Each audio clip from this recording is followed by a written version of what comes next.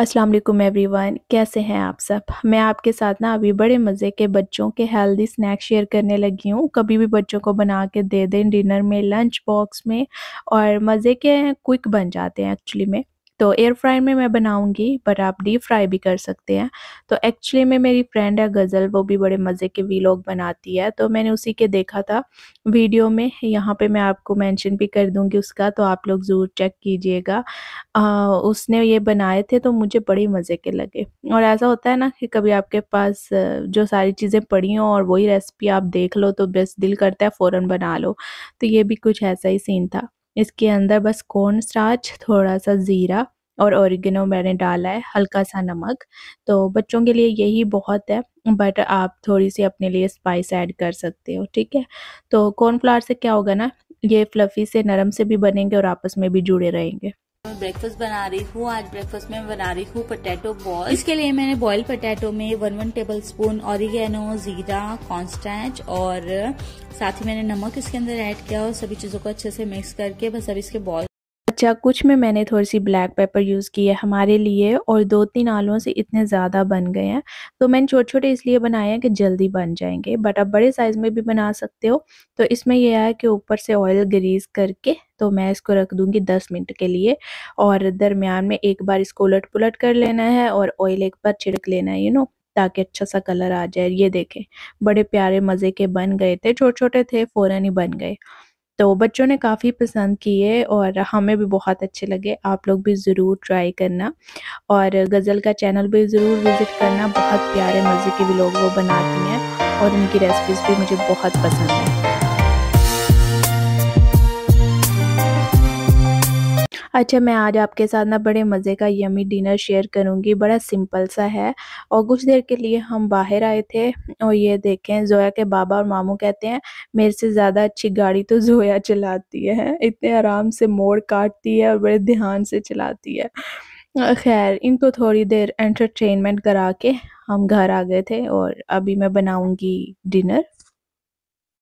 अच्छा ये ना मेरे पास छोटे वाले चने, मटर हैं। आई डोंट नो पाकिस्तान में बनते हैं या नहीं बट मेरी एक नेपाली फ्रेंड बनाती थी तो उसी से मुझे पता चला कि ये भी कोई चीज़ होती है।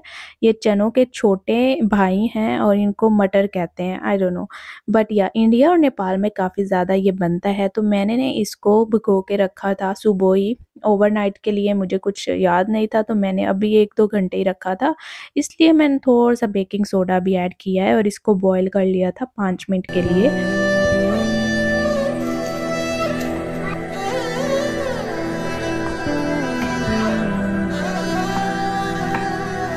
आज ना ऐसा दिन था जिस दिन मुझे कुछ समझ नहीं आ रही थी कि मैं क्या बनाऊँ और घर में सब्ज़ी भी ऐसी कोई ख़ास नहीं थी और इन लोगों से भी पूछो तो कुछ जवाब नहीं मिलता कि क्या बनाना चाहिए तो मुझे कुछ माइंड में नहीं था। मैं बस लग गई जो मुझे नज़र आया तो बस ऐसा वाला दिन था आज।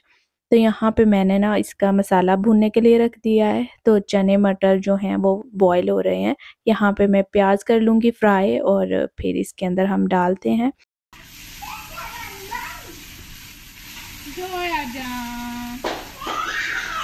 Can you please.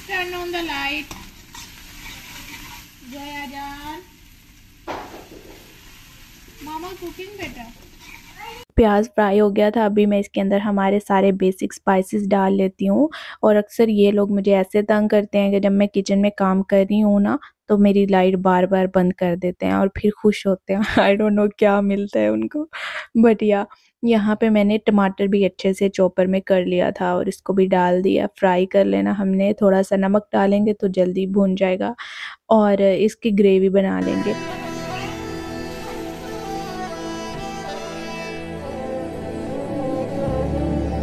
और ना मुझे 90 परसेंट यकीन था कि ये लोग बहुत शौक़ से ये नहीं खाएँगे सालन।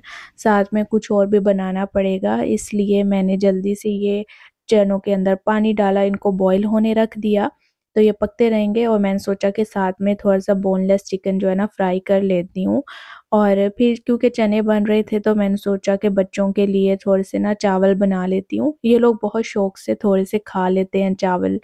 तो मैंने डिसाइड किया कि मैं ना मटरों वाले चावल बना लेती हूँ। चने रोटी के साथ ना भी खाए जाए ना तो चावल के ऊपर डाल लो तो बड़े मज़े के लगते हैं।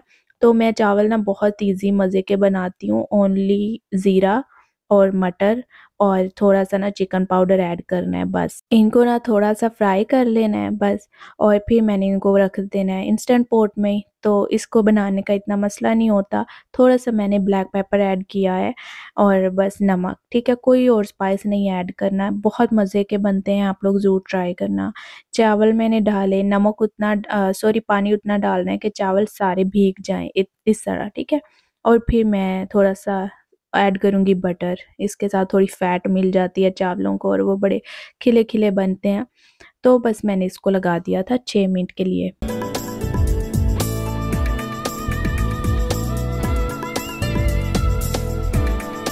ये देखें जी, हमारे चने भी ऑलमोस्ट रेडी हो गए थे और फिर मैंने इसके अंदर जी भर के कसूरी मेथी डाली, मुझे बड़ी मज़े की लगती है इस तरह के खानों में और फिर थोड़ा-सा मेरे पास ना फ्रीज़ किया हुआ हरा धनिया था, वो भी मैंने ऐड कर दिया और बस मैंने इसको कंप्लीट किया और इसके अंदर भी ना मैं थोड़ा-सा बटर ऐड कर दूँगी, ऐसे ही बस मुझे अच्छा लगता है। और उसके बाद मैंने चिकन ये था ना बाहर रखा था कि अनफ्रीज़ हो जाए और उसके बाद जो है मैं इसका पानी निकाल के और ये बहुत जल्दी वाला मैं बनाऊँगी क्योंकि ये पतले-पतले पीसेज़ हैं और आराम से फ्राई हो जाते हैं 10 मिनट में। तो मेरे पास ये नंदूज़ की पेरी-पेरी सॉस है, इसको मैंने लगा दिया है बस और कुछ भी नहीं लगाया और गार्लिक पाउडर लगाया है बस। तो ये सॉस के अंदर हर चीज़ है, आपको कुछ लगाने की ज़रूरत ही नहीं है। अगर आपके पास ना हो तो आप सारे बेसिक स्पाइसेस लगा लो और बटर में फ्राई कर लो तो वैसे भी मज़े का बनता है। और बच्चों के लिए मैं हमेशा सिर्फ़ नमक और ब्लैक पेपर लगाती हूँ और इस इनको अच्छे से बटर में फ्राई करती हूँ तो उनको बहुत पसंद आता है।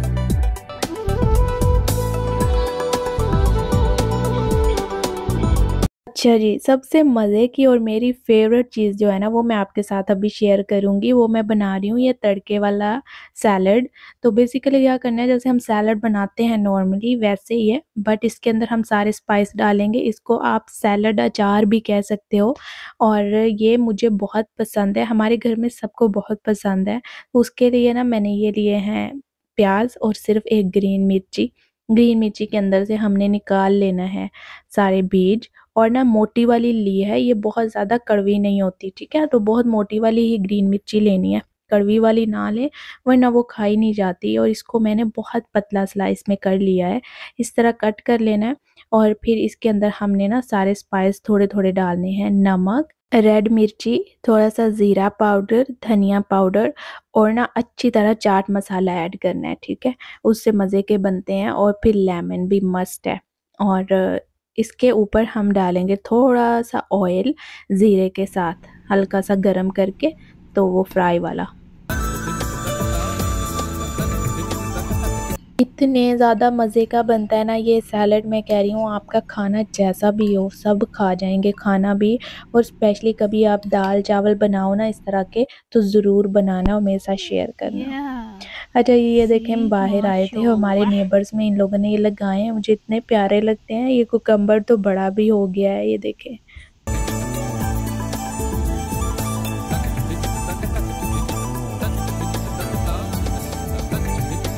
अच्छा जिन लोगों के पास भी प्लांट्स हैं मेरे साथ शेयर करना आप लोग क्या-क्या लगाते हो।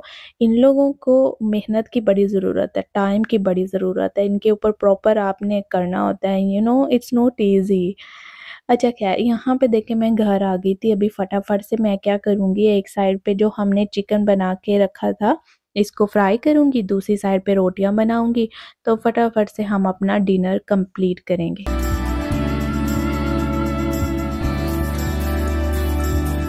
और इस तरह के चिकन पीस को मैं बटर में और हाई हीट पे करती हूँ और इनको बहुत ज़्यादा देर नहीं करना इनका सारा पानी नहीं निकालना ये ऐसे ही नरम हो जाते हैं और बड़े मज़े के बनते हैं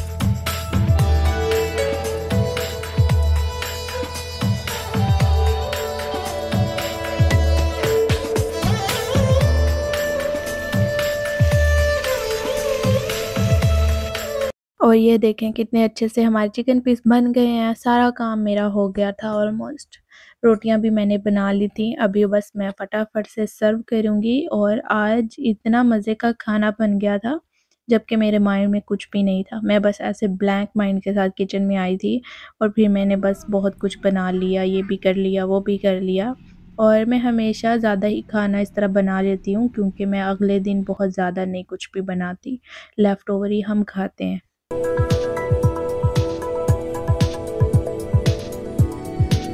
आप लोग भी बच्चों के लिए इस तरह के सिंपल से राइस ज़रूर ट्राई कीजिएगा और ये वाला अचार मस्ट है, ये वाला अचार आपने ज़रूर ट्राई करना है और फिर मेरे साथ शेयर भी करना है।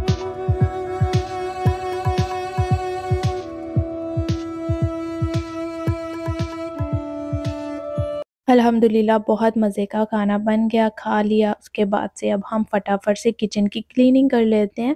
तो मैं बस सारी चीज़ें जो हैं अपनी जगह पे रखूँगी। लेफ़्ट ओवर जो खाने हैं, उनको डब्बों में डाल के फ्रिज में रख दूँगी और फिर बस किचन क्लीनिंग बेसिक करूँगी।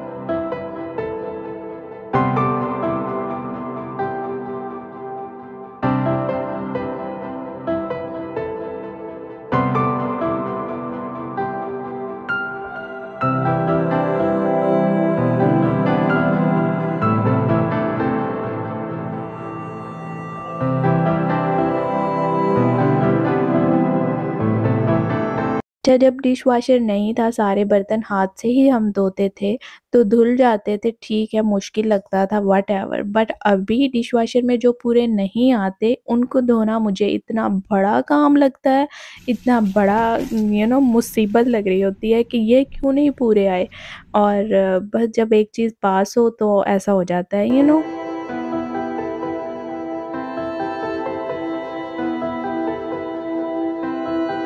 और बस ये किचन का काम ही ये है कि ये गंदा होता रहे, फिर धुलता रहे, साफ़ हो जाए, फिर दोबारा सुबह से गंदा हो जाए और फिर साफ़ हो जाए। बस ये इसीलिए बनाया गया है।